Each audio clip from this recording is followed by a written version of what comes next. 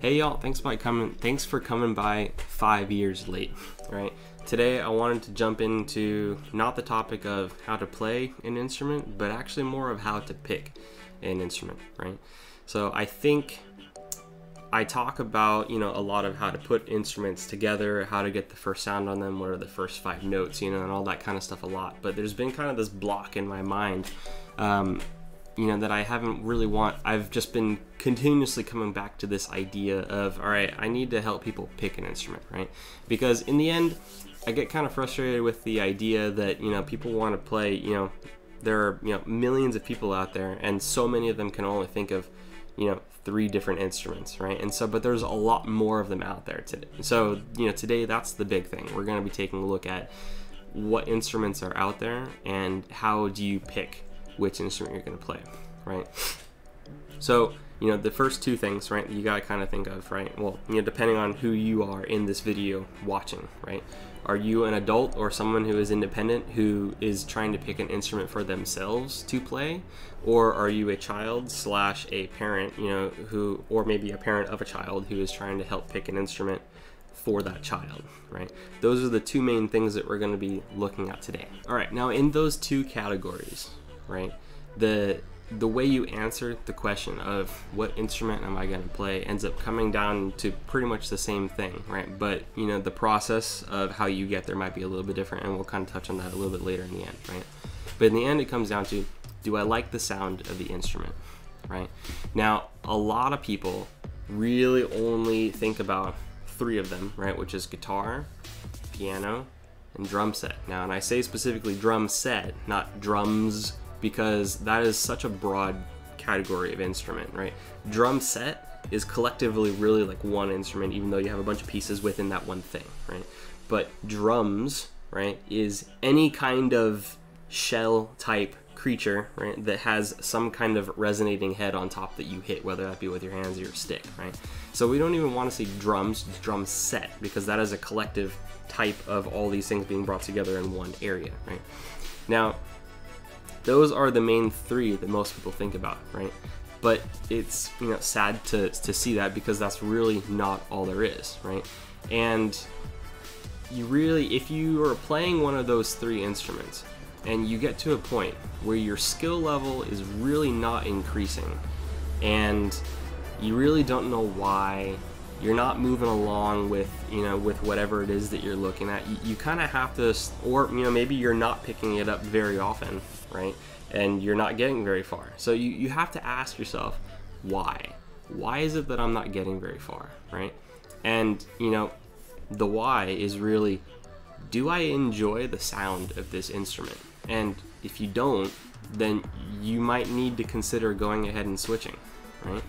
Now I'm leaving kind of vocals out of the discussion for today because that really comes down to this the, the, the question of hey dude do I want to sing or I don't right and if you happen to like singing then great you know there's you know vocals is you know do, do your thing right for you know you can't choose uh, any other part of vocals you can choose styles really but I mean your voice type is your voice type and I'm not going to even get into that I've been trained in vocals but I'm an instrumentalist first and foremost all right, and now to pick an instrument, you have to first know which ones are out there, really. And so let's kind of break that up by categories, right? Now, these categories of instruments are broken up by how they produce sound, right?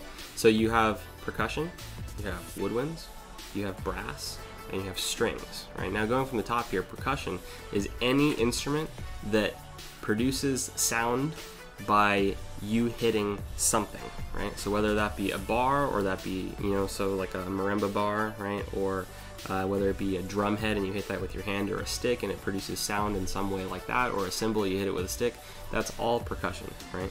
Strings, uh, well, you know, it's very intuitive there. You know, it is a string right, that is vibrating and therefore producing a pitch. And it's usually some set length of string that you can change by putting fingers down, you know, or, well, in the case of piano, you can't change the length of the string, but you have a million sets of strings, right? Within strings, there's kind of two minor categories. There's kind of like plucked instruments or bowed instruments, right? Now, picked, in, picked instruments, you know, has a couple more like subcategories in it, kind of depending on uh, instruments and from around the world, but those are the two main ones. Brass is really straightforward, right? You'll have a mouthpiece, and the mouthpiece you'll put your put it on your lips and you will buzz into the mouthpiece and that is how it produces sound. If it does that it's considered a brass instrument right? Now we go over into woodwinds. Woodwinds is kind of funny. Most of them 99% of them right produce sound by you attaching a reed uh, which is a thin piece of some type of wood, usually reed, to the instrument, and it has moisture in it, and you blow through it, and it makes the reed vibrate. You're not vibrating, the reed is vibrating, and that's really what creates pitch for the sound, right? Now, the only instrument in that category that technically doesn't fit that description is flute flute and piccolo. Flute and piccolo both are considered woodwind instruments, but they don't generate sound with a reed. However, things like clarinet, saxophone, those are all reed instruments. All right, so the first of those categories, let's go ahead and jump into woodwinds, right? Now, woodwinds is a broad category, right? And then a couple of these instruments that I'm going to list off have, are also kind of like subcategories underneath that instrument, right? So, for example, you have clarinet, and I'm going to go ahead and refer to my list here, right? You got clarinet, saxophone, oboe, bassoon, English horn, flute, piccolo, right? And those are just a couple, right? But there are variations of each of those instruments under their own categories. So, for example, let's just go saxophone because that's the first biggest one that has a million options underneath it, right? The different types of saxophone are labeled based on their voice type. Voice type usually following, you know, actually human voice types, right? In in terms of high to low pitch, right? So you go from the top and you have soprano, alto, tenor, bass, usually, right? So, and then in saxophone world, you have soprano sax, alto sax, tenor sax, and then you actually have a couple of interesting ones in the middle. You have bari sax, right? And you also have the option for like a bass or a contrabass saxophone, right? So, but that's just one type of woodwind instrument, and then you end up having you know all of these like six other types of saxophones underneath that category right so there's already a bunch more there just in that one instrument type than there were in the original three, right? So you know, and then we talk about clarinet. Clarinet, you have you have a regular clarinet, which is kind of like an, and then you have uh, I've heard also of altos clarinet, and then you have a actually like an E flat clarinet, which is higher in pitch than a regular clarinet, and you also have a bass and a contrabass clarinet. So there you have like another five types just within clarinet, right? You do have oboe. Oboe is kind of a fun one. So oboe and bassoon are double reed instruments, which means that you literally have two reeds that are tied together and they're, they're strung together and they're on the instrument, right? Now of oboe, oboe and English horn are two. They're technically the same instrument. English horn is just a fifth higher, right? Than oboe is written. Bassoon is the low of the double reeds, and there's also a contrabass bassoon which by the way is fun as heck. Like a contrabass, it's like talk about like making your innards shake, right, from playing an instrument. That's really cool stuff, right? So, and you know, that's just within the woodwind category, and there are more. So the next category here that we're taking a look at is strings, of course, right? Now you have a couple subcategories in that. We talked about picked instruments versus bowed instruments, right? Those are the two kind of main ones, right? And there's different kinds of picks, different fingering styles and things like that you might do for all those instruments, right? But we're not going to get into all that today. That's a whole nother video, honestly, right? So, but in the end, you know, you have all your orchestral ones, right? So you have violin, and you've got viola, and you've got cello, and then you've got bass, right? Double bass, specifically, also known as upright bass, right? And if you kind of go a little bit further into the rest of those string instruments, then you do actually have like, you know, regular guitar, acoustic, and electric, and then you do have you know bass the kind that's held on a strap that's also electric right um, you know but that's not the end of it, right? There's a lot more string instruments that are from different kind of cultures around the world that you know you might find interesting and fascinating and and say to yourself, "Wow, that's just a cool sound." And it doesn't matter if it's from a culture that's familiar to you. You know, the, th- the in the end, if you like the sound of it, you should probably go ahead and take a look at it, right? So, some of these other string instruments, let, let's take a look at them here. So, I've got uh, just from the ones that I could remember off the top of my head, right? We also have the guitarron, which is like a very large guitar that's bass oriented, right? But it still has six strings like a regular guitar. You also have things like hammered dulcimer, which could technically become be a percussion instrument and a string instrument, but hammered dulcimer, that's a really cool one. Pipa, harp, or biwa, right? All these pipa is, to my understanding, is a Chinese instrument. I played a really cool duet with someone. I was playing marimba and they played pipa, and I did that in college. That's a really cool instrument, right? Biwa, I've never had a chance to play with someone who's playing that, but man, it's a it's a pretty fun one. All right, now in this section, I'm going to kind of lump brass and percussion together a little bit because you know brass has a lot of instruments within it, but there's not a lot of like subcategories that kind of you know go along with that, right? It's not the kind of thing where you either have bowed instruments or picked instruments, right? In the end, it, you know they all produce sound the same way, and so there is kind of a, a slight limit, right, to how many variations within that one field you can have, right? And in percussion, uh, you know, there's a couple of instruments that fit into separate categories there, and in the end, if you learn how to play one of the instruments in that subcategory, you're gonna learn to play all of the all of the rest of the instruments that are within that other subcategory, right? So let's go through brass real quick. So in brass, just going down from from highest pitch down to lowest pitch, right? The general categories, right? You have trumpet, and within that trumpet category, you also have cornet, right? Which is essentially the same as a trumpet, more of a rounder sound. It comes down to cylindrical versus conical instruments, right? But in terms of the pitches you can get out of them, they're pretty much the same, right? Going down a little bit further than that, then you have trombone, right? Now, you can have a trombone, you can also have a tenor trombone, you can also have a bass trombone, right? And as those go down, you're also getting further down in sound, okay?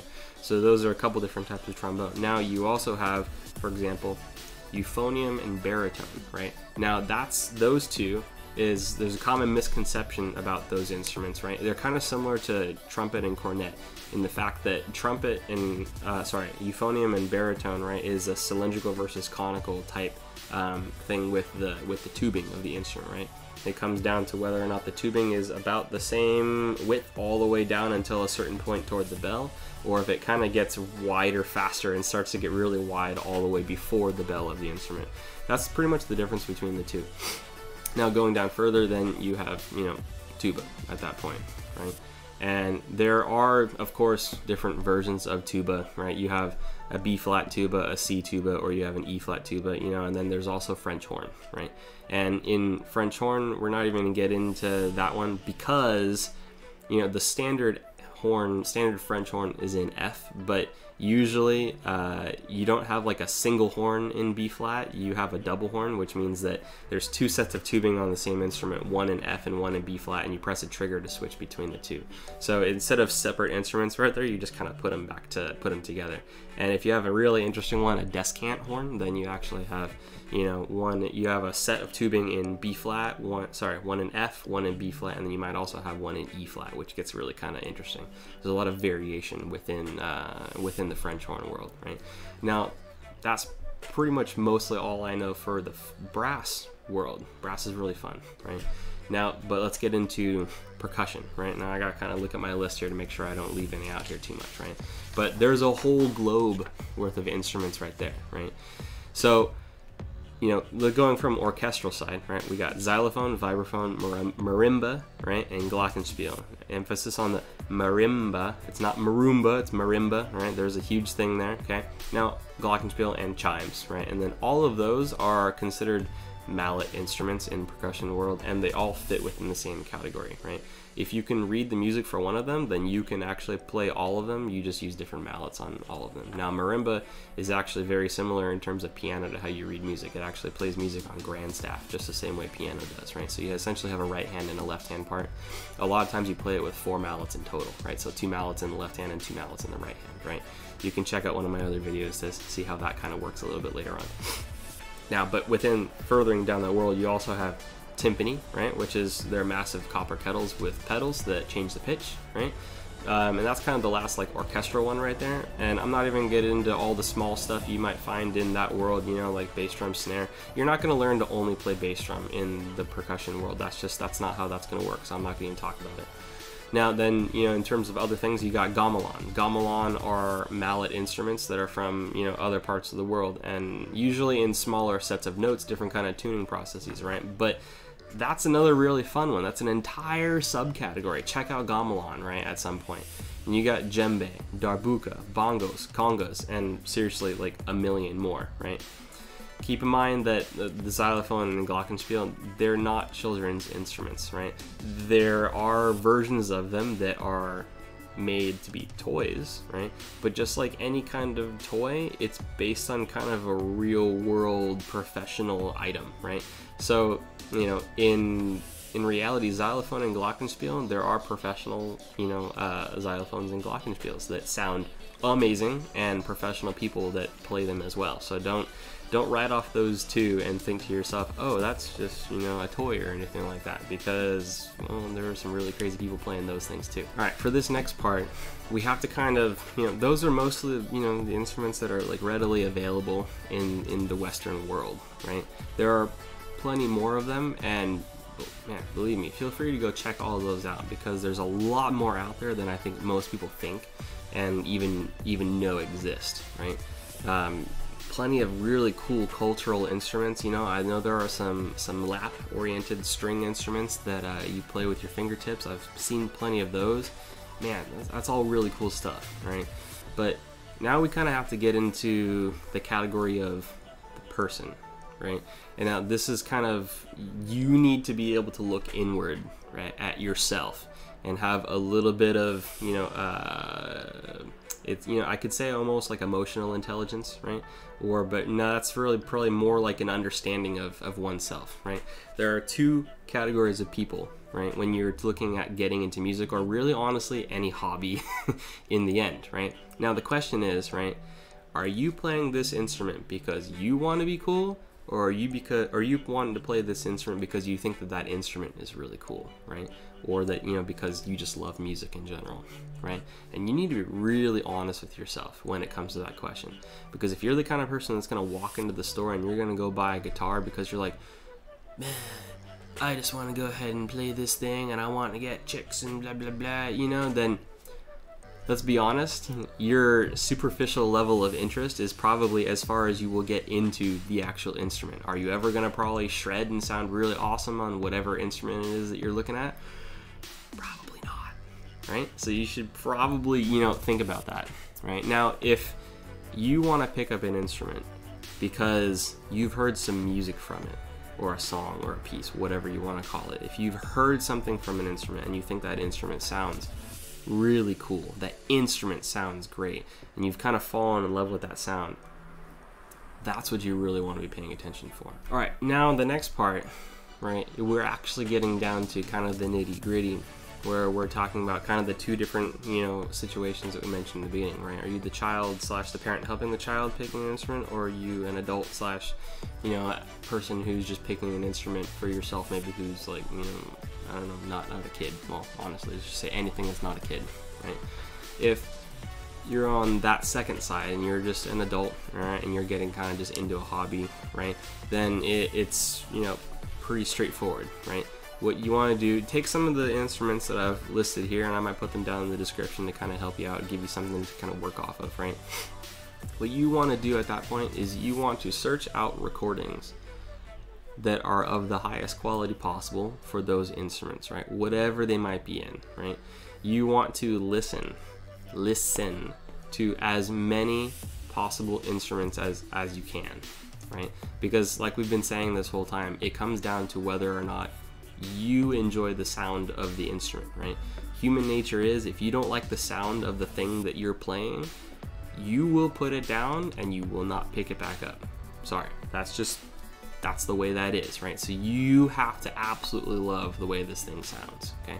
So, I mean, if you play guitar and you hate the sound of plucking it and then, you know, the pick coming in contact with the string and kind of, you know, if you don't like the timbre of those high strings and like the sound of a pick coming in contact with the string. If you don't like that sound at all, you probably shouldn't be playing guitar, right? Also, I don't know if drums are too loud for you, right? Because you can't go and join a rock band and play quiet, right? You, you just can't. You're too timid. You can't do that. You have to be present and you have to be driving, right? So if you don't really like exceptionally loud instruments and you're more of a meditative kind of person, you probably shouldn't be looking at doing drums. And if you are, maybe go ahead and listen to a couple other things and try some things out. Okay. Now, that's the adult side, right? Now, on the child side, it's a little bit hard, right? Because honestly, if you're a parent, right, and you have a kid and they, they say, hey, they want to play an instrument, right?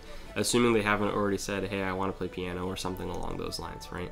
Assuming they haven't done that yet, and they just want to play an instrument, or maybe you want to get them into an instrument just so they can try it and see if it's something that they're interested in, right?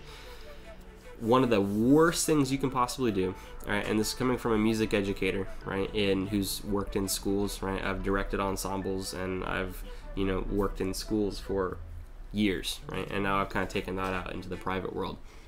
The worst thing you could do is shove your own desires, you know, or interests onto your kid, right? So if you're the kind of person that's like, oh man, I always wanted to play trumpet, don't even mention that to your kid. Just don't, right? Because you want them to form as organic of an in, you know interest in whatever instrument they might go toward as possible right you have to do the same thing with the kid that you would do with yourself you, they need to listen to as many different instruments that exist out there as as humanly possible and there's a little bit more observation that kind of has to be done there, right? Because obviously you're not in their head. You have to observe and you have to watch for interest and you have to ask questions, right? You can do that by, you know, listening to sound files in the car, just kind of playing them there as you're like driving places on the way to school or something like that you can just put them on the background at home and just see if there's any kind of response to it. Maybe you play a sound file and then they ask you about it, right? That'd be kind of cool. Now, you can also just sit down and say, hey, you know, I was thinking maybe we could get you like into playing some type of instrument and like let's sit down and listen to some together and see if there are any of them that you like the sound of, right? Now, that's what you want to do, okay? You don't show them what any of the instruments look like. Because if you play some of these sound files and they say something sounds really cool, then that's that's perfect. That's what you want, right? But if you show them just pictures of instruments, they're just gonna point at the one, you know, in all likelihood, they're gonna point at the one that they recognize, which, you know, because of popular culture and media, right, you're gonna see is gonna be vocals, piano, guitar, or drums, right? Those are the four that everyone knows, and so they're just gonna point to one of the ones that they recognize, right? If they happen to be interested in any regular or like any other instruments, right, then it still will come down to just whichever one they recognize, right? In the end, they need to like the sound. They need to be interested in what the thing sounds like. Otherwise, even more so for a child, right? If you think an adult is going to drop an instrument because they're not interested in the way it sounds or they hate it, a kid is going to do it even faster, right? You will have to fight tooth and nail to get them to play anything for even 15 to 20 minutes every single day, right? And you will not make progress on an instrument and get any better if you aren't putting in at least 30 minutes a day after the first like two week period, right? So it, it comes down to time. And if you don't like the way your instrument sounds, then you're not going to pick it up and you're not going to put in that time. And that is that's the simple thing about it, right? So you have to have the kid listen to the sound. You have to kind of go through that process and figure it out with them, right? Now, wouldn't it be kind of cool if you did that and then you actually end up, yeah, as the parent, listening to some of these instruments and say, oh wow, that sounds really cool. Maybe I want to play one of these instruments too. That'd be really fun. All right, now the next little bit we have to kind of touch on briefly, right, is, you know, kind of, I hate to say it, but gender kind of plays you know a little bit of role into it as well. And I don't mean the fact that the kid, uh, well, actually no, sometimes the kid might as well. Kind of like there might be a problem there, right? But don't restrict your child's instrument choosing process because of whether they're male or female or anything like that, right? This was a huge problem years ago in the music industry, right? In well in band programs in high school and middle school string programs right? You end up having kind of this like thought that oh like that's a boy's instrument or that's a girl's instrument or something like that. And so then you end up having a large amount of people in those instrument categories of one gender not necessarily because there weren't people of the other gender that wanted to play the instrument but because they were kind of like forced out of it right? Or their parents kind of like pushed them towards one or the other based on what they thought about it right? So you know, one of the huge things that happens, and I've seen this in band programs, is parents come in and they say, Oh, I want my daughter to play flute. You need to back up a little bit, right? If you're a parent that is thinking to yourself, Oh, I'd really like my daughter to play flute, you need to check out there for a second and you need to kind of ask yourself why. right? If you're thinking to yourself, oh, well, flute's a nice girl instrument, right? Or, or even actually, if you actually kind of did get a little bit technical with that analysis and you thought to yourself, oh, tuba is a huge instrument. My daughter that's only 5'1 can't possibly play tuba. Well, actually, you're just wrong right there because flute and tuba actually require a very similar amount of air, right? Only probably about 75% of the air that's used to play flute is wasted flying over the top of the instrument and doesn't even go into it. So you actually need a very you need a pretty good lung capacity to be able to play flute first and foremost, or you need very very efficient air supply, right? And the same thing kind of goes for tuba. You need either a very large amount of air capacity or you need efficiency. And honestly, and you know most of the time you kind of want a little bit of both, right? So, but there's really no reason specifically why like a girl can't play tuba or can't play trombone or can't play trumpet, right? All these brass instruments, you know, are you know a very heavily male dominated instrument, right? And there's really no specific reason as to why because man, I have seen some really really awesome female brass players, right? Better musicians than me just by like a long shot and they just kick ass, you know, absolutely kick butt right? So, you know, don't think that, you know, just because you're a girl or your daughter, you know, that they should like play flute or like a violin or something like that, right? It still comes down to in the end, do they like the sound of the instrument? If they don't, they're gonna drop it, no matter what the heck you say, right? Or you'll tell them to go and take these lessons, but I've seen lessons where a student just goes in there and sits and then like the teacher plays for 30 minutes and the student like does nothing because they just don't want to be there, right? If you don't want to pay for lessons where nothing is happening, I suggest you probably, you know, think more about what your you know kid wants to play, right? Now on the other side is exactly the same thing, right? Just because it's a boy doesn't mean that they should be doing percussion, right? Or that they should be doing brass and playing trumpet or something along those lines. I have seen plenty of men play flute and do very, very well at that, or play violin and do very, very well at that, right? It goes both ways, okay? In, in the end, if the person, the kid, the adult, student, whatever, if they like the sound of the instrument, they will want to put time into it and they will want to play it. Music is always first a hobby and then it becomes kind of more like a lifestyle. And then you know, it can become a profession but then at that point it's more a part of you. And if you don't like the instrument that you know you know that you've picked it won't get past hobby phase and actually you'll probably just drop the hobby and never be interested in music really ever again. All right with that you know, thanks for coming by and hanging out with Five Years Late. I hope this video helped you pick an instrument, right? If you have managed to pick an instrument at this point, go ahead and check out some of my, my other videos in the uh, first 30 minutes series where we go over all the basic stuff that has to do with the instrument. So opening the case, right? You, it's funny, but you know, hey, there's a right and a wrong way to open a case, right? Putting the instrument together, getting your first sound out of the instrument, sometimes the first five notes and all that stuff, right? So go over and, you know, check out some of those videos, you know, and uh, thanks for watching and I'll see you in the next video.